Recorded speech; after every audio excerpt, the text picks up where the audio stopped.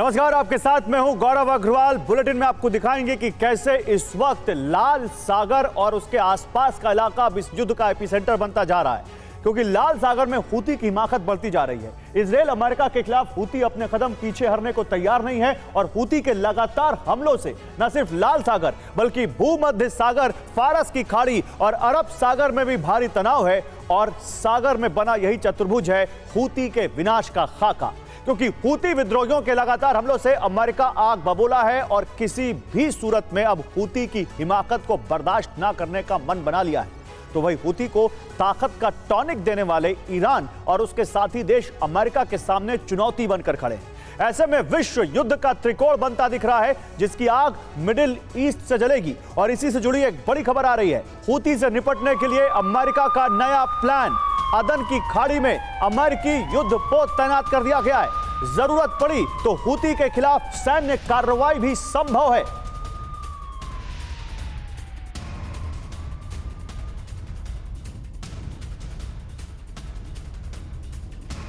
तो हूती विनाश के पाँच नए प्लान आपके सामने रखते हैं। देखिए, पहला प्लान क्या है? यूएसएस आइजन हावर युद्ध पोत बल्कि एयरक्राफ्ट कैरियर अदन की खाड़ी में तैनात है। दूसरा, हमले ना रुके तो यूएस नौसेना करेगी बड़ा पलटवार। तीसरा, सहयोगी देशों की मदद से हूती के मंसूबे नाकाम करना। चौथा, हूती विद्रोहियों के खिलाफ बड़े सैन्य ऑपरेशन का खाका। पांचवा, ईरान पर दबाव बनाकर हूती को नियंत्रित करना। ये पाँच बड़े प्लान हूती विनाश के यहाँ पर हैं।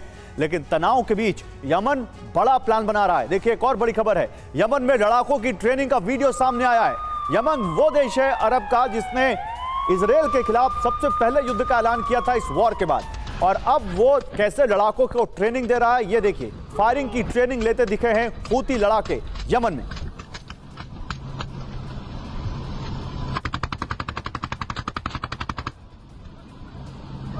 एक और बड़ी खबर, होती का इसराइल पर ड्रोन हमला। पहली बार इसराइली शहर पर हमला हुआ है। ये देखिए, हूती का इसराइल पर ड्रोन हमला, पहली बार इसराइली शहर पर हमला। इसराइली शहर एलाट पर हमला किया है। ब्रिटिश जहाज़ ने हूती का ड्रोन गिरा दिया।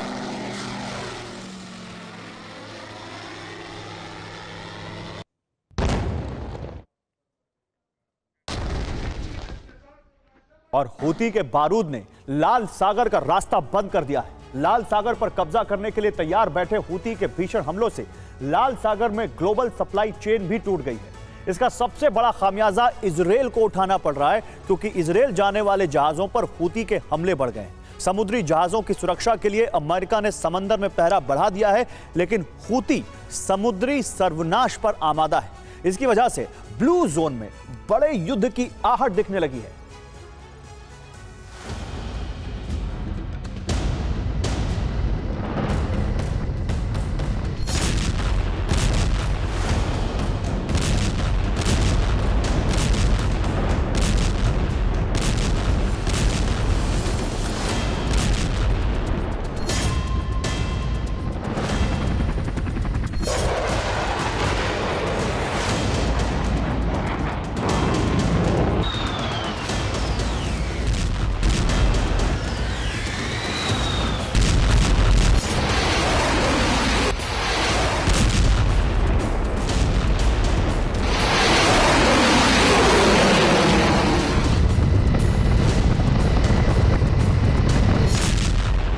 लाल सागर खोल रहा है।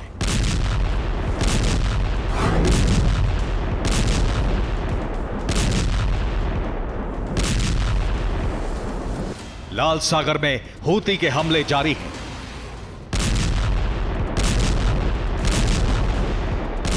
पिछले 48 घंटों में हूती ने लाल सागर में समुद्री जहाजों पर कई बड़े हमले किए हैं। हूती ने लाल सागर में लाइबेरिया से आ रहे जहाज़ पर हमला किया। जहाज़ लाइबेरिया से इसराइल जा रहा था। हूती ने जर्मन कंपनी के जहाज़ पर भी हमले किए। लाल सागर में जर्मन जहाज़ पर हूती ने बैलिस्टिक मिसाइल से हमले किए। अल जसरा जहाज़ में हमले के बाद आग लग गई, लेकिन इस हमले में कोई हताहत नहीं हुआ। गौर करने वाली बात यह भी है कि लाल सागर में होती लड़ाके कार्गो शिप पर हमले करने का वीडियो भी बनाते हैं और फिर उसे जारी करते हैं। रेड सी में होती के लगातार हमलों से अमेरिका और यूरोप में कोहराम मचा हुआ है।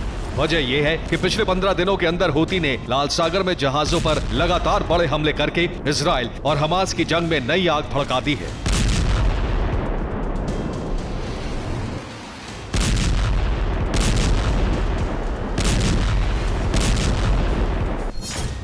चौदह दिसंबर, जर्मन जहाज़ पर हमला। चार दिसंबर, बहामास के जहाज़ पर हमला। 26 नवंबर, इजरायली शिप सेंट्रल पार्क को अगवा किया। 25 नवंबर इसराइली शिप पर ड्रोन से हमला किया।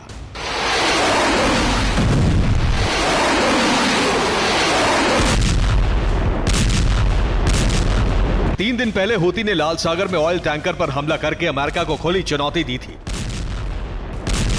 अगर अमेरिकी वॉरशिप उसे नाकाम नहीं करता तो अब तक लाल सागर में विध्वंस का बवंडर मच गया होता। हूती ने समंदर में हमले तेज करके अपने इरादे ज़ाहिर कर दिए हैं। लाल सागर में बढ़ते हूती के हमलों से ब्लू जोन में बड़ा बवंडर शुरू हो गया।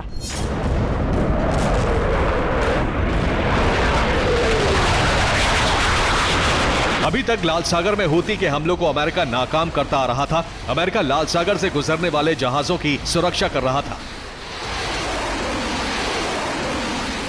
लेकिन लगातार हमलों के बाद अमेरिका ने हूती पर लगाम लगाने के लिए लाल सागर से लेकर भूमध्य सागर तक फंदा तैयार कर लिया है, जिससे हूती के मंसूबे को फेल किया जा सके।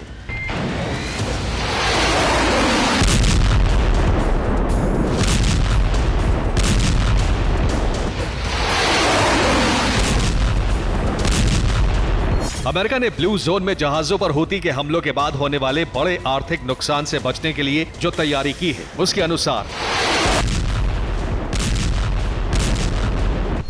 अमेरिका ने भूमध्य सागर में नए एयरक्राफ्ट कैरियर को तैनात रखने का आदेश दिया है। यूएसएस नॉर्मंडी क्रूजर इसराइल के पास ही तैनात रहेगा। यूएसएस जेराल्ड आर फोर्ड पहले से ही भूमध्य सागर में तैनात है। दोनों युद्धपोत लंबे समय तक भूमध्य सागर में तैनात रहेंगे। पेंटागन ने 7 अक्टूबर के हमलों के बाद भूमध्य सागर और फारस की खाड़ी में अपनी सैन्य उपस्थिति बढ़ा दी थी। इसके बाद से ही ईरान के प्रॉक्सी गुट अमेरिकी सैन्य ठिकानों को निशाना बना रहे हैं। फारस की खाड़ी में अमेरिका और ईरान के बीच पहले से ही बारूदी टकराव बढ़ा हुआ है इस बीच हाल ही में जब ईरान और अमेरिकी एयरक्राफ्ट कैरियर के बीच टकराव हुआ तो उसके वीडियो को भी ईरान ने जारी किया.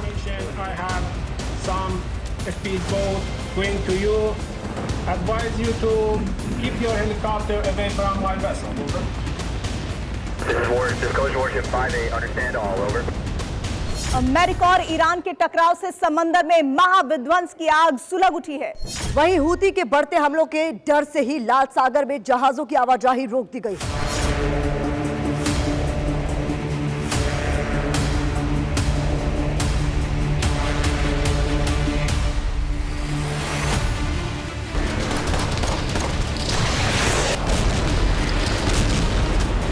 ब्लू जोन में होती के बढ़ते हमलों से शिपिंग कारोबार पर सबसे ज़्यादा असर पड़ा है। लाल सागर में होती के रेड सिग्नल और उसके बढ़ते हमलों के बाद शिपिंग कंपनियों ने रेड सी रूट से इसराइल का कारोबार रोक दिया है। मर्स्क और हपाग लॉयड शिपिंग कंपनी ने रेड सी रूट से शिपिंग रोक दी है, जहाजों को अब पूरे अफ्रीका का चक्कर लगाकर आना पड़ रहा है। इससे जहाजों के परिवहन का समय बढ़ गया है। ट्रांसपोर्ट की लागत भी बढ़ गई है। कंपनियों को इसराइल जाने वाले जहाजों के लिए बीमा की लागत भी बढ़ानी पड़ी है। कुल मिलाकर पहले से ही दबाव में चल रही इसराइली अर्थव्यवस्था पर काफ़ी बोझ बढ़ गया है। उधर अफ्रीका की ओर से आने वाले जहाजों पर भी हमले का डर है, क्योंकि अफ्रीका वाले रूट से गुजरने वाले जहाजों को सोमालिया के लुटेरों का भी सामना करना पड़ सकता है। खास बात यह है कि कंबाइंड टास्क फोर्स की मौजूदगी उस इलाके में काफ़ी कम है। ऐसे में रेड सी रूट को कारोबार के लिए काफ़ी इस्तेमाल किया जाता है। लेकिन हूती ने धमकी दी है कि अगर इसराइली पोर्ट की तरफ़ कोई भी जहाज़ जाएगा तो हूती उन्हें निशाना बनाएगा। हूती के हमलों की आग अब लाल सागर से दूसरे समंदरों में भी फैल रही है। वहीं फारस की खाड़ी से लेकर भूमध्य सागर तक हूती के खिलाफ किसी बड़े ऑपरेशन से अमेरिका भी फ़िलहाल बच रहा है। हूती के हमलों के बाद से लाल सागर से जहाज़ गुजरने बंद हो गए हैं। अरब और यूरोपीय देशों के पोर्ट पर माल से लदे जहाज़ खड़े हैं। जानकारों का मानना है कि सबसे ज़्यादा नुकसान अरब देशों को ही होगा, क्योंकि ऑयल टैंकर इसी रूट से होकर जाते हैं। लाल सागर में हूती कब्जा करना चाहता है। अगर ऐसा हुआ तो वो दुनिया को बड़े आर्थिक संकट में डाल सकता है। यही वजह है, लाल सागर में टास्क फोर्स की मदद के लिए कई देशों ने अपने जहाज़ भेजे हैं।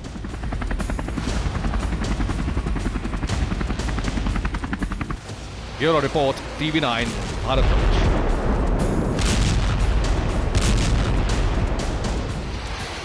और बड़ी खबर लेबनन पर इसराइल का सबसे बड़ा हमला। लेबनन में 43 किलोमीटर भीतर तक प्रहार किया है। इसराइल ने लेबनन के रिहायशी इलाकों को निशाना बनाया है। लेबनन के उत्तर पूर्व में सिडोन में अटैक किया है। 2006 की जंग के बाद पहली बार इसराइल ने लेबनन में इतना बड़ा अटैक किया है। तो लेबनन पर सबसे बड़ा प्रहार आइए आपको दिखाते हैं।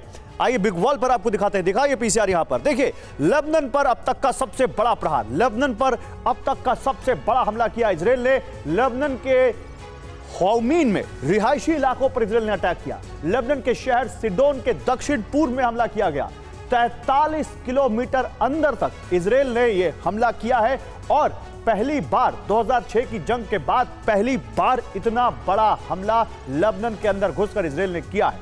उधर एक और बड़ी खबर है शैजया में आईडीएफ का विध्वंसक प्रहार देखने को मिला है। हमास का वेपन डिपो इसराइल ने तबाह कर दिया। विस्फोटक लगाकर वेपन डिपो तबाह किया।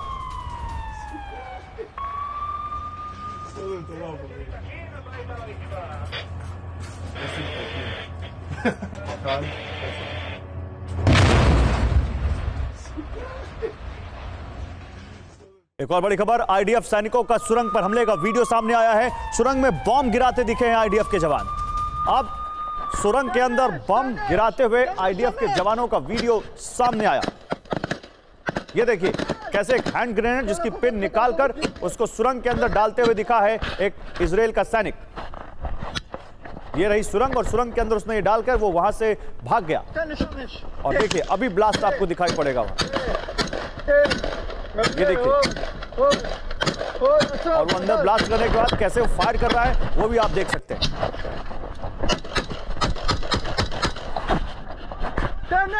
उधर आईडीएफ ने नाकाम किया हिजबुल्ला का मिसाइल अटैक हिजबुल्ला के सरफेस टू एयर मिसाइल को मार गिराया आईडीएफ ने इजरायली वायु क्षेत्र में घुसने से पहले ही ये हमला नाकाम किया आईडीएफ ने עוד אחד. וואו, אחי! तो गाजा की धरती पर इसराइल और हमास के बीच अब तक की सबसे खतरनाक जंग शुरू हो गई है इस जंग का नाम है फिदाइन वर्सेस मर्सनरी जंग हमास ने जंग में अपने आत्मघाती दस्ते को उतार दिया है हमास के फिदाइन लड़ाके खुद को उड़ाकर इसराइली सैनिकों को खत्म कर रहे हैं। इससे इसराइली सेना भयभीत हो गई है। इसराइल ने युद्ध में भाड़े के लड़ाकों को उतार दिया है। तो सवाल यही है कि आखिर इसराइल ने यह कदम क्यों उठाया? क्या मर्सनरी लड़ाकों को बेचकर नेतन्याहू अपने जंगबाजों को बचाना चाहते हैं?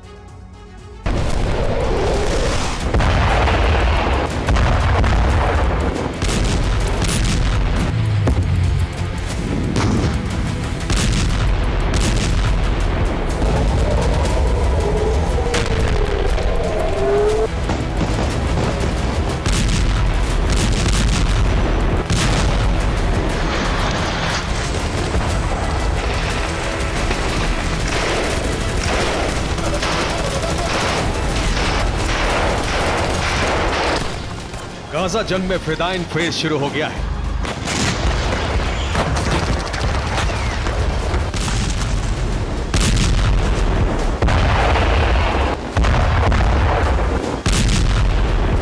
आईडीएफ की बमबारी से परेशान हमास ने अब आत्मघाती हमले शुरू कर दिए। हैं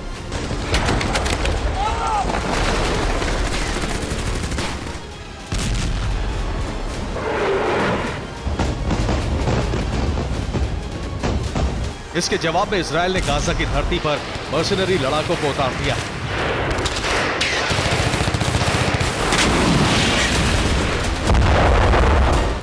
गाजा की धरती पर अब फिदाइन बनाम मर्सिनरी लड़ाकों में खतरनाक युद्ध शुरू हो गया है।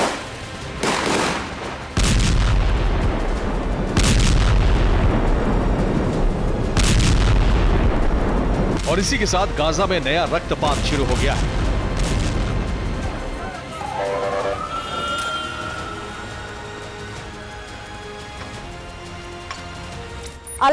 स्कूल और रिहायशी इलाकों में बार पलटवार का नया दौर शुरू हो गया।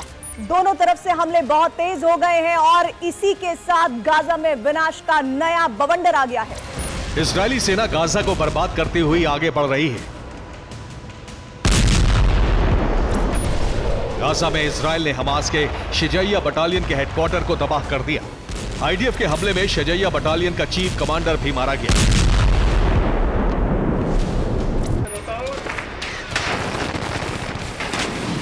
खान यूनुस में भी आईडीएफ का ऑपरेशन विध्वंसक हो गया है। यहाँ इजरायली सेना ने हमास के गाजा चीफ याया सिनवार के घर पर धावा बोला।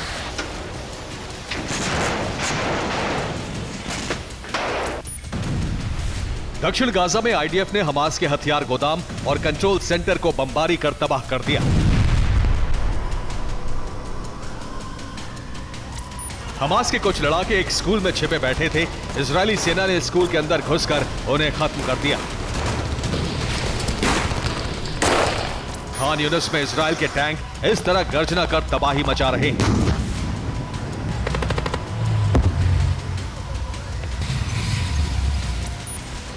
इसराइली सैनिकों ने गाजा में एक इमारत को तबाह कर हनुका त्योहार का जश्न मनाया। गाजा पर इसराइल की बमबारी इतनी तेज हो गई है कि आसमान में हर तरफ़ बारूदी धुआँ ही नज़र आ रहा है। उत्तरी गाजा के जबालिया में इसराइल ने हमला किया।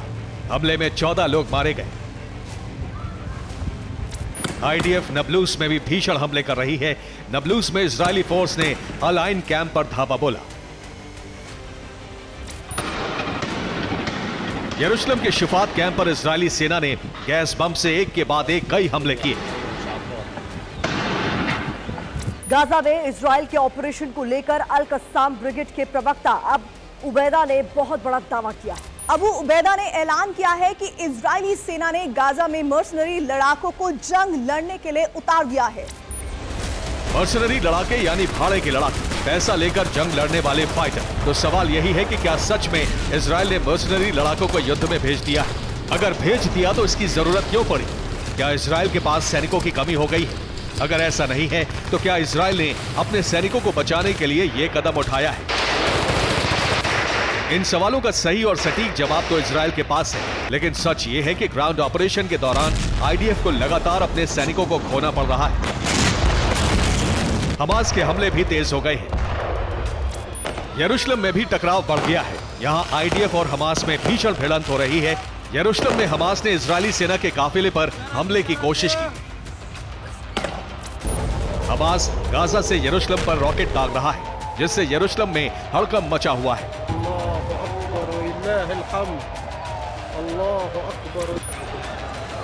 अलक्सा कंपाउंड पर हमास के रॉकेट गिरने वाले थे, लेकिन इन्हें इजरायली एयर डिफेंस ने हवा में ही मार गिराया। रॉकेट हमला नाकाम हुआ तो वहाँ मौजूद लोग जान बचाने के लिए बंकर की तरफ़ भागने लगे। हमास ने हमला कर आईडीएफ के हेलीकॉप्टर को तबाह कर दिया। तबाह हेलीकॉप्टर की जद में आईडीएफ का आर्मर्ड व्हीकल भी आया, वो भी बर्बाद हो गया। हमास के लड़ाकों ने अलग अलग जगहों पर भीषण हमले कर आईडीएफ के पाँच टैंक को तहस नहस कर दिया। उत्तरी गाजा के शेख राधवान इलाके में हमास के लड़ाकों ने आईडीएफ के काफिले पर छिपकर धावा बोला।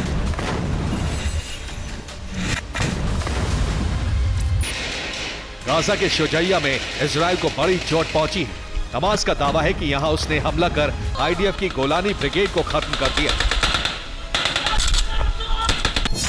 गाजा में अब तक 118 इजरायली सैनिक मारे जा चुके हैं। 600 इजरायली सैनिक घायल हैं।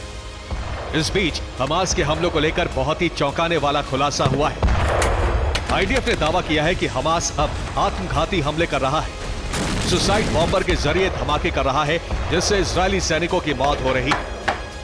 इजरायली सैनिकों को खत्म करने के लिए हमास ने आत्मघाती हमला करने वाले लड़ाकों का दस्ता बना लिया। इजरायली सेना के लिए हमास के फिदाइन हमलावर बहुत बड़ी मुसीबत बन गए हैं। आईडीएफ इनसे पार नहीं पा रही। शायद यही वजह है कि इसराइल अब गाजा की जंग में भाड़े के लड़ाके भेज रहा है ताकि उसे सैनिकों का नुकसान ना हो। मतलब ये कि अब जंग फिदाइन हमलावर और मर्सिनरी लड़ाकों के बीच शुरू हो चुकी है। इस जंग का अंजाम होगा इसी पर दुनिया की नज़र है। Bureau report TV nine Bharat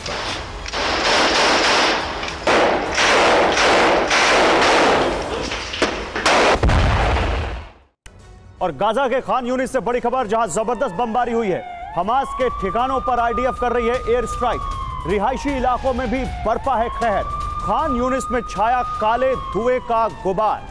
Hamas के ठिकानों पर आईडीएफ की एयर स्ट्राइक देखिए रुकी नहीं रही है। जब से एयर स्ट्राइक शुरू हुई है, लगातार इसराइल की एयरफोर्स हमास के ठिकानों पर इतनी बमबारी कर रही है, इतना ज़्यादा बारूद गिरा रही है कि वहाँ बिल्कुल समतल कर दिया है उसने गाजा में। और ये एक और उसी का सबूत, उसी की तस्वीर साउथ गाजा, जहाँ खान यूनिस जैसा बड़ा शहर है, वहाँ पर इसराइल ने कुछ इस तरह की बमबारी की है। और आईडीएफ यानी इसराइल की डिफेंस फोर्सेस को हमास की लॉन्चिंग साइट मिल गई है। शेजाया इलाके में लॉन्चिंग साइट मिल गई है आईडीएफ को। रॉकेट फायर करने की लॉन्चिंग साइट मिली है आईडीएफ को। ये देखिए तस्वीर। कुछ ऐसी तस्वीर आपको याद होगा, आई थी अल शिफा हॉस्पिटल से और एक स्कूल से। वैसे ही रॉकेट फायर की लॉन्चिंग साइट शेजाया इलाके में मिली है आईडीएफ को। ये हमास की रॉकेट लॉन्चिंग साइट है। और एक और बड़ी खबर, शेजया इलाके में आईडीएफ का बड़ा ऑपरेशन। स्कूल के पास मिली हमास की सुरंग। देखिए, यहाँ भी स्कूल है। सुरंग के अंदर से आईडीएफ पर हमास के लड़ाकों ने अटैक किया है। जवाबी हमले में आईडीएफ ने सुरंग को तबाह कर दिया। यह तस्वीर सुरंग को तबाह करने की। और हमास का हमला आईडीएफ ने नाकाम कर दिया। इसराइल की सेना ने नाकाम कर दिया। इंटरसेप्ट कर अटैक को हवा में ही नाकाम कर दिया हमास के हमले को। इसराइल की डिफेंस फोर्सेस ने इंटरसेप्ट किया और हवा में ही नाकाम कर दिया। आयरन डोम आयरन बी इसी काम में लगे हुए इसराइल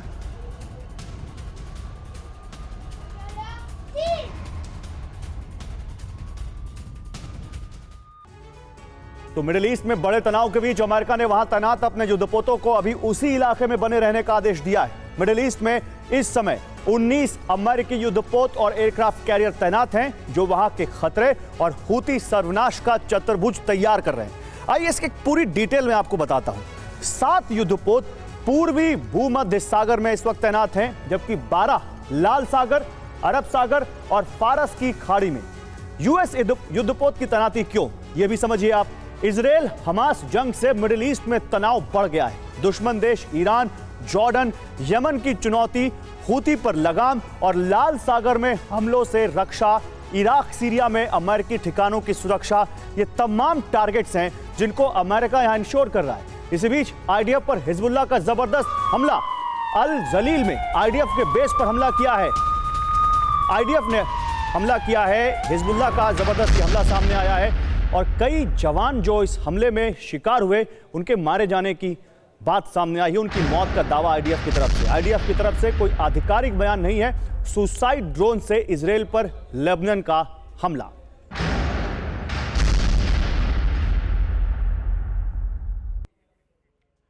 और हिजबुल्ला का विध्वंसक हमला सामने आया है। बम वर्षक ड्रोन से आईडीएफ पर अटैक किया है। हिजबुल्ला ने रमीम बैरक के पार यह हमला किया है। बम वर्षक ड्रोन, यानी वो ड्रोन जो कि अटैक भी कर सकते हैं और सर्विलांस भी कर सकते हैं। वो ड्रोन जिनसे हमला किया हिजबुल्ला ने। और एक और बड़ी खबर, मिडिल ईस्ट से विश्व युद्ध भड़कने की आशंका, और ये बहुत बड़ी खबर है। समझिए, ये हमसे और आपसे सबसे जुड़ी हुई है। वर्ल्ड वॉर भड़क सकती है मिडिल ईस्ट से। हूती की घेराबंदी से ईरान पर भी नज़र है। ईरान और समर्थक देशों से टकराव का डर है इस युद्ध में। ईरान हूती विद्रोहियों का समर्थन कर रहा है।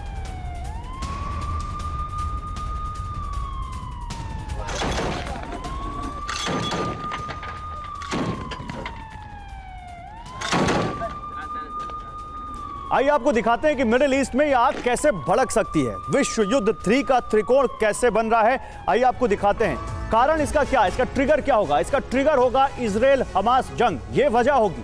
कसूरवार कौन है? हमास, हूती और हिजबुल्ला के हमले इसका कसूरवार है। कैसे होगी शुरुआत? ईरान के दखल से यह चिंगारी भड़केगी। इसके तीन अहम किरदार कौन से हैं? इसराइल, ईरान और अमेरिका। मिडिल ईस्ट में अमेरिका क्यों आ रहा है? ईरान, जॉर्डन और यमन की चुनौती है। लाल सागर में हूती के हमलों से रक्षा करना है। इराक, सीरिया में यूएस ठिकानों की सुरक्षा करना है। और इसलिए मिडिल ईस्ट में यह विश्व युद्ध की आग भड़क सकती है, ये बात सामने आ रही। लेकिन इसराइली ठिकानों पर हिजबुल्ला का ज़बरदस्त हमला, एक और बड़ी खबर। एक के बाद एक कई रॉकेट हमले किए गए। हिजबुल्ला ने बिल्डिंग को निशाना बनाया है।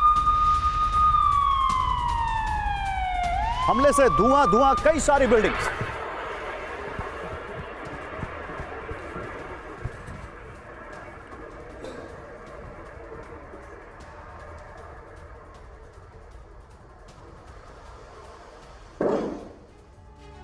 इसराइल को हिजबुल्ला की बड़ी धमकी, अगर लेबनन में हमले किए तो हाइफा खत्म हो जाएगा। हिजबुल्ला की तरफ़ से धमकी भरा वीडियो भी जारी किया गया है। इसराइल का पोर्ट शहर है हाइफा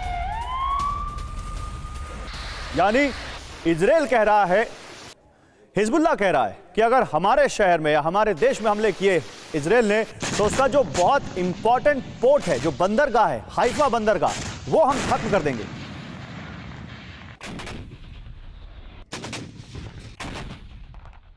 और गाजा के हमास कमांडर याहया सिनवार का नाम इस वक्त इसराइल की हिट लिस्ट में सबसे ऊपर है। दस दिन पहले ही इसराइल ने यह दावा किया था कि खान यूनिस में याहया सिनवर एक बंकर के अंदर छिपा है। सिनवर को पूरी तरह घेर लिया गया और जल्दी उसको ढेर कर दिया जाएगा। लेकिन इसराइल यह दावा हकीकत नहीं बना सका। याहया सिनवर अब भी ज़िंदा है और अब भी युद्ध की कमान संभाले हुए है और इसराइल के लिए मुसीबत बना हुआ है। सिनवर को जानने वाले इजरायली कमांडर यह भी मान रहे हैं कि वो गाजा या जॉर्डन में या तेल अवीब में भी हो सकता है। कैसे? इस रिपोर्ट में देखिए।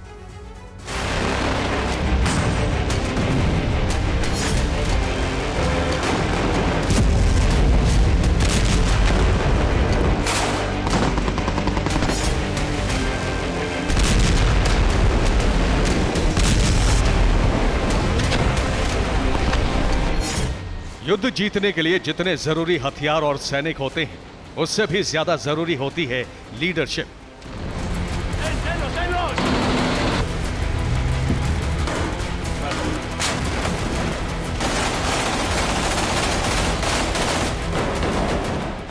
लायक रणनीति नहीं बनती और बिना सही रणनीति के जंग नहीं लड़ी जा सकती।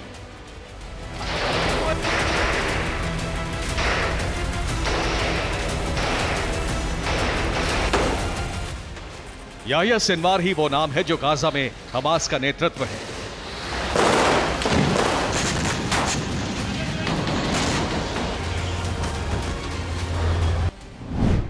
सिनवार का मतलब है हमास के युद्ध की रणनीति। सिनवार का मतलब है अलकसाम ब्रिगेड का हौसला। सिनवार ही हमास और अलकसाम के हथियारों की सप्लाई का काम संभालता है। युद्ध की रणनीति तैयार करना भी सिनवार का काम है। लड़ाकों के लिए रसद सप्लाई भी सिनवार के ज़रिए होती है।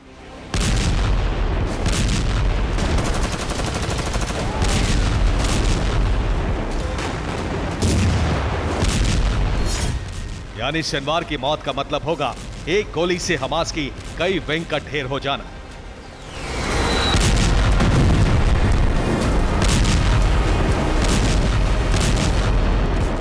लेकिन इजरायली सेना उसके करीब नहीं पहुंच पा रही है पांच दिसंबर तक याया सिनवार गाजा में था इसराइल का दावा था कि सेना उसके करीब पहुंच चुकी है שואלים אותנו הרבה על ההרס בעזה. חמאס הוא הכתובת, सिनवा वो अक्टूबर। छह दिसंबर को भी इसराइल ने यह दावा किया कि वो सिनवार के बहुत करीब है, लेकिन सिनवार अब तक इसराइल की पकड़ में नहीं आया है। इसराइल के पूर्व सैनिक और शिन बेट यूनिट के कई पूर्व कमांडर ये मानते हैं कि सिनवार गाजा से निकल चुका है। शिन बेट यूनिट के एक पूर्व कमांडर ने कहा है कि सिनवार इसराइल में छिपा हो सकता है। इस कमांडर ने उन्नीस सौ बयासी में सिनवार को गिरफ़्तार किया था। तब सिनवार को फारा जेल में रखा गया था। सिनवार ने तब कहा था कि उसे आईडीएफ से बचने के लिए इसराइल में छिपना पड़ा तो छिप जाएगा, लेकिन इसराइली जेल में नहीं रहेगा। युद्ध शुरू होने के बाद से यह माना जा रहा है कि सिनवार गाजा में कहीं छिपा है, लेकिन यह भी हो सकता है कि वो तेल अवीव या गाजा के किसी दूसरे शहर में हो। याहिया सिनवार हमास की इंटेलिजेंस विंग में काम कर चुका है। उन्नीस में इंटेलिजेंस विंग में काम करते हुए वो गिरफ़्तार हुआ था। सिनवार अपना होलिया बदलने में माहिर है। सिनवार ने कई साल हिब्रू भाषा लिखनी, बोलनी सीखी है। वो यहूदियों के रहन सहन के तौर तरीके जानता है। यहूदियों की उपासना पद्धति भी सिनवार जानता है।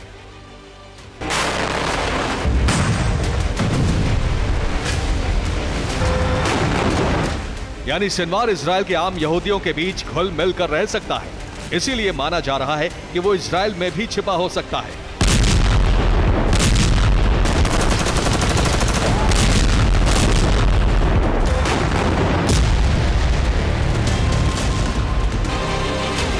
इस वक्त हमास की टॉप लीडरशिप इसराइल के टारगेट पर है, लेकिन दुनिया की सबसे मशहूर इंटेलिजेंस एजेंसी मोसाद भी इन्हें नहीं ढूंढ पा रही है।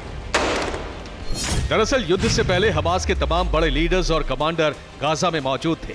मगर जैसे ही इसराइल से जंग शुरू हुई, हमास की राजनीतिक विंग का प्रमुख इस्माइल हानिया कतर जा पहुँचा। मगर अब इस्माइल हानिया कतर से फरार हो चुका है। हानिया का फ़ोन भी स्विच ऑफ़ बताया जा रहा है। हानिया की तरह हमास के deputy chief Saleh al Arouri भी कतर में ही छिपा था, लेकिन वो भी हानिया के साथ कतर छोड़ चुका है। उसका भी मोबाइल स्विच ऑफ़ है।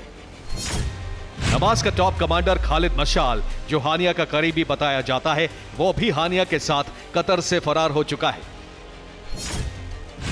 हमास की मिलिट्री विंग का प्रमुख मोहम्मद दाइफ भी गाजा में छिपा था, लेकिन वो भी अब गाजा छोड़ चुका है।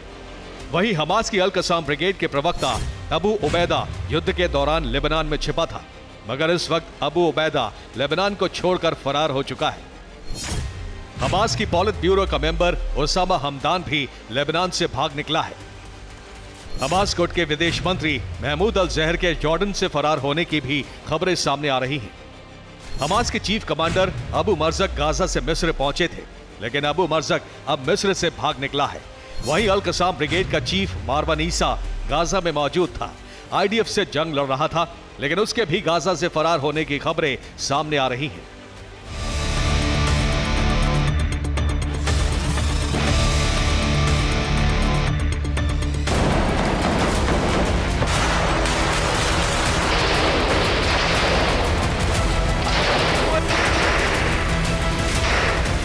इसराइल पहुँची अमेरिका के एनएसए जेक सलीवन ने भी इसराइल को यही टारगेट दिया है कि युद्ध जल्दी खत्म करने का तरीका हमास की लीडरशिप को खत्म करना होगा। लेकिन अभी तक गाजा कमांडर याया सिनवार को ही इसराइल खत्म नहीं कर पाया है। ब्यूरो रिपोर्ट, टीवी नाइन भारतवंश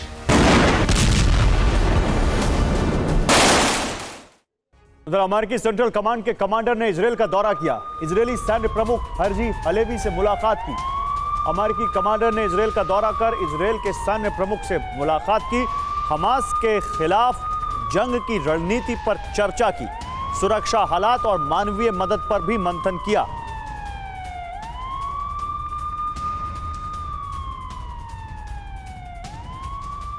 और बच्चों के वार्ड में हथियारों का जखीरा। जी हाँ, गाजा के कमाल अल अदवान अस्पताल में हथियार मिले। इनक्यूबेटर्स में छिपा कर रखे गए थे हथियार। इनक्यूबेटर्स में गाजा के कमाल अल अदावन अस्पताल में हथियार छिपा कर रखे गए थे। वो इनक्यूबेटर्स जहाँ पर नवजात बच्चों को रखा जाता है, वो उस जगह पर हथियार रखे हुए थे गाजा में।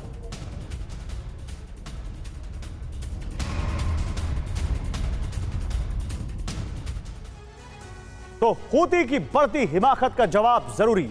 15 दिसंबर डेनिस जर्मन शिपिंग कंपनी ने सोमवार तक अपना ऑपरेशन रोक दिया। 15 दिसंबर, लाइबेरियाई जहाज़ MSC Alanya MSC Platinum three पर अटैक किया गया।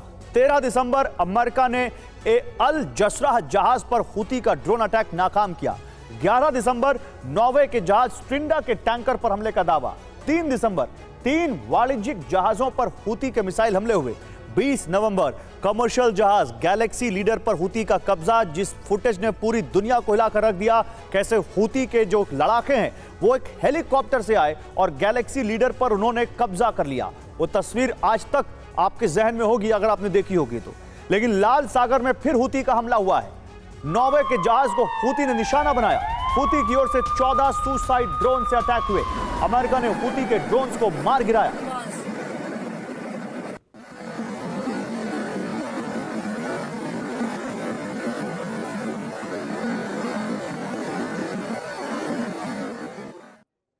और हूती के हमलों के बीच बड़ी खबर आ रही है। दो कंपनियों ने रोक दी है अपनी जहाज़ सेवा। जर्मन डेनिस कंपनी ने सेवा रोक दी।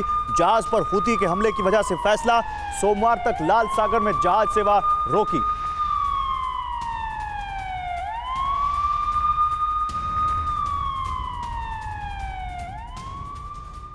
और हमास गाजा युद्ध में इजराइल पर युद्ध अपराध के आरोप लगाता रहा है, लेकिन खुफिया रिपोर्ट है कि इजरायली बंधकों को हत्या, उन पर अत्याचार करने के साथ साथ युद्ध में भी हमास संगीन अपराध कर रहा है। हमास ने गाजा की जंग को जंगल की जंग बना दिया है। मध्यकाल की तरह आईडीएफ जवानों को मारने के लिए जहर और जानवरों का इस्तेमाल किया जा रहा है। हमास ने पहले गुरिल्ला हमले किए, उसके बाद ट्रैप लगाकर इजरायली सैनिकों को मारा, लेकिन अब वियतनाम की तरह छल युद्ध की नीति अपना रहा है। इजरायली सैनिकों को मारने के लिए हमास की अलकसाम ब्रिगेड अब कौन कौन से तरीके अपना रही है? ये देखिए, हमास के एनिमल्स पर world exclusive report.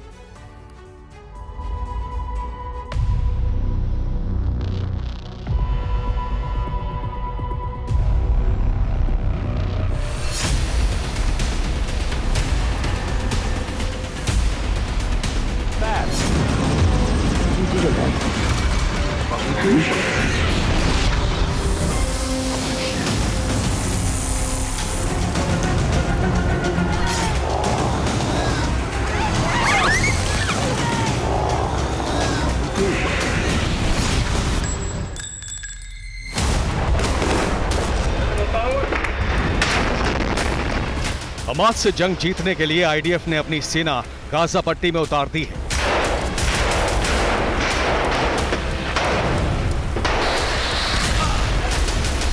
Israeli forces के जवानों का सामना हमास के लड़ाकों से हो रहा है।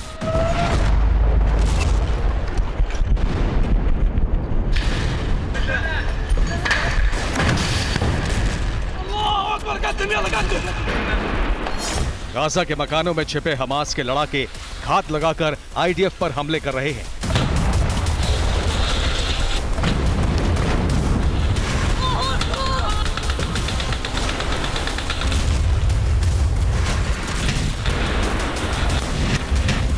इन हमलों में आईडीएफ के जवानों की मौत हो रही है।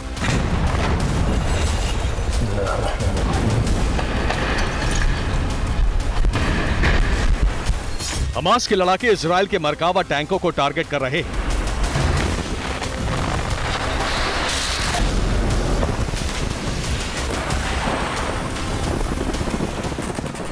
हमास की अल कसाम ब्रिगेड के प्रवक्ता अबू उबैदा ने कहा है कि बीते पाँच दिन में आईडीएफ के सौ सैन्य वाहन पर हमला किया गया है। जबालिया, शेख राधवान अल शुजैया अल जायतून में आईडीएफ से जंग जारी है। जबालिया में आईडीएफ की इन्फेंट्री विंग पर हमला किया गया है। अल कसाम ब्रिगेड इसराइली जवानों को ट्रैप में फंसाकर मार रही है।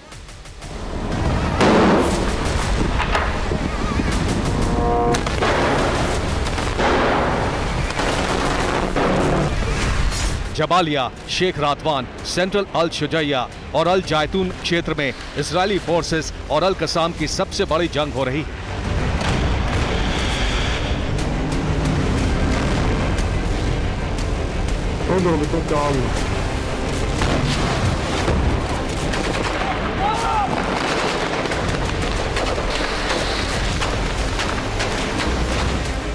हमास और अलकसाम ब्रिगेड के लड़ाकों ने गाजा की सड़कों पर और गलियों में चौड़ी गहरी खंदकें खोद दी।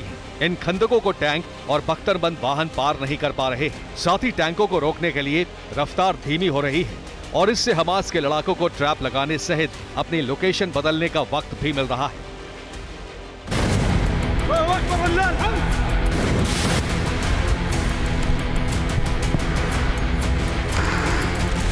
हमास के लड़ाकों ने गाजा के अलग अलग इलाकों में ट्रैप लगाकर आईडीएफ पर हमले शुरू कर दिए हैं और इन हमलों की कामयाबी से हमास के हौसले बुलंद हैं।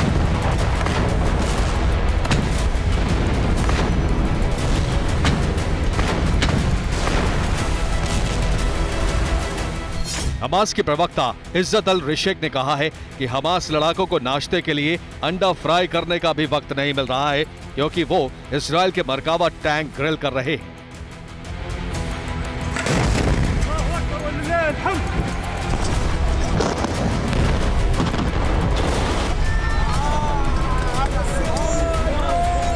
हमास गाजा में इजरायली टैंकों के विस्फोट पर तंज कर रहा है, लेकिन गाजा में सिर्फ़ ट्रैप ही नहीं लगाए गए हैं। हमास ने एनिमल फोर्स भी तैयार की है, जो आईडीएफ पर हमले कर रही है।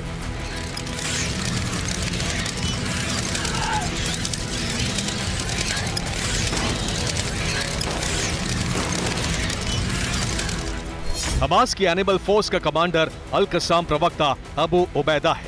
इसकी देखरेख में एनिमल फोर्स की ट्रेनिंग हुई है। एनिमल विंग में घातक जहरीले सांप और संक्रमित कुत्ते रखे गए हैं।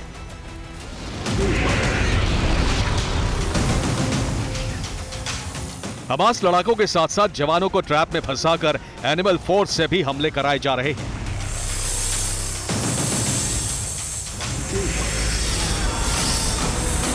और रिपोर्ट यह है कि हमास ने सुरंगों में आरडीएफ को घुसने से रोकने के लिए बाईस हज़ार से ज़्यादा सांप छोड़ दिए हैं और ये सांप सुरंगों में घुसने वाले आईडीएफ जवानों को काट रहे हैं। इसके साथ ही प्रशिक्षित कैनाइन ब्रिगेड, यानी कुत्तों का इस्तेमाल किया जा रहा है। ये कुत्ते चार हज़ार से ज़्यादा संख्या में हैं और जेनेटिकली मॉडिफाइड बताए जा रहे हैं। ये खूंखार तरीके से टारगेट पर हमला करते हैं और इनके काटने से संक्रमण फैलता है। देखिए ये स्पेशल रिपोर्ट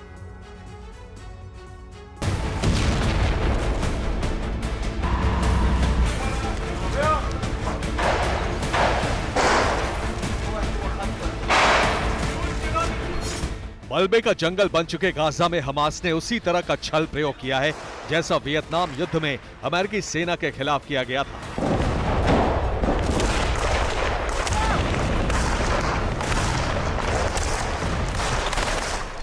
1955 में शुरू हुई वियतनाम जंग में जब अमेरिकी सेना सीधे उतर गई तो वियतनाम के गोरिल्ला लड़ाकों ने विष प्रयोग किए। लड़ाकों ने सुरंगों में जहरीले सांप छोड़ दिए और इनके काटने से सैनिकों की मौत होने लगी।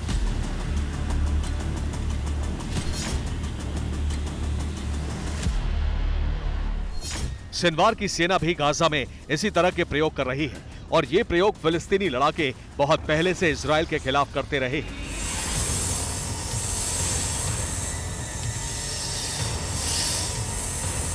ये इजरायली अखबार टाइम्स ऑफ़ इसराइल की 29 मई 2015 की खबर है, जो बता रही है कि फिलिस्तीनी तब भी जवानों के खिलाफ जहरीले सांपों का प्रयोग कर रहे थे। 2015 में सेंट्रल वेस्ट बैंक के रामल्ला में इसराइल के खिलाफ दंगे भड़के। दंगाइयों ने आईडीएफ जवानों के ऊपर टोकरे फेंके। इन टोकरों में फिलिस्तीनी वाइपर सांप भरे हुए थे।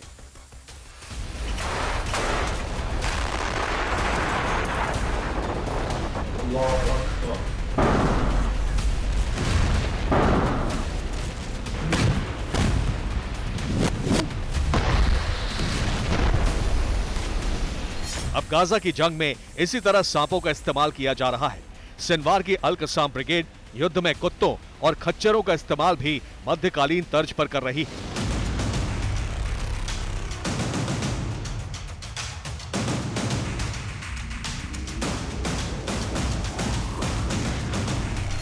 युद्ध में कुत्तों का इस्तेमाल सोवियत रूस भी कर चुका है।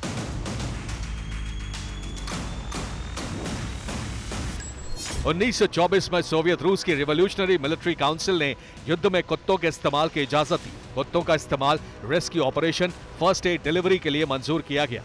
1930 में सोवियत सेना ने कुत्तों को टैंक नष्ट करने के लिए इस्तेमाल किया। कुत्तों को विस्फोटक पहुँचाने की ट्रेनिंग दी गई। ये कुत्ते दुश्मन टैंकों के पास विस्फोटक छोड़कर लौट आते थे। बाद में कुत्तों के शरीर पर विस्फोटक बांधकर टैंक नष्ट किए जाने लगे। इससे हर धमाके में एक कुत्ते की मौत हो जाती थी।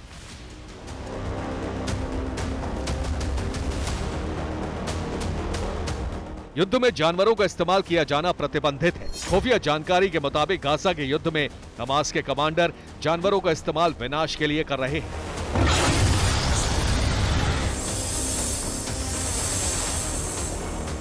युद्ध में जानवरों का इस्तेमाल केवल मानवीय सहायता के लिए किया जा सकता है, जैसे खोजी कुत्तों के ज़रिए रेस्क्यू ऑपरेशन चलाया जा सकता है। मलबे में दफन लोगों की खोज की जा सकती है। गधों, खच्चरों का इस्तेमाल घायलों को अस्पताल पहुँचाने के लिए किया जा सकता है। लेकिन गाजा की जंग में मध्यकाल की तरह सिनवार ने एनिमल फोर्स उतार दी।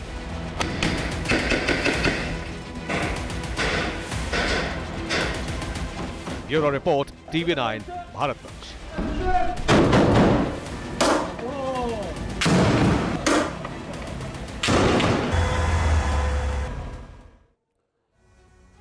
और गाजा में आईडीएफ ने एक साथ तबाह की हैं कई इमारतें। विस्फोटक लगाकर इमारतों को जमींदोज कर दिया है। आईडीएफ का दावा, इमारतों में थे हमास के कमांड सेंटर। आईडीएफ का दावा, इमारतों में थे रॉकेट लॉन्च सेंटर।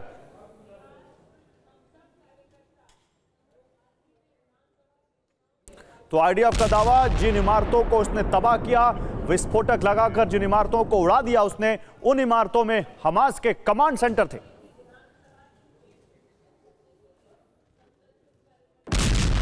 ये तस्वीरें आपको हम दिखा रहे हैं। आईडीएफ ने कैसे कुछ बिल्डिंग्स को गाजा में विस्फोटक लगाकर उड़ा दिया। और आईडीएफ यानी इसराइल की सेना का दावा है कि ये हमास के कमांड सेंटर थे। इन इलाकों से हमास अपने ऑफ़िस चला रहा था, अपने सेंटर चला रहा था, और इसीलिए उसने उनको इस तरह उड़ा दिया।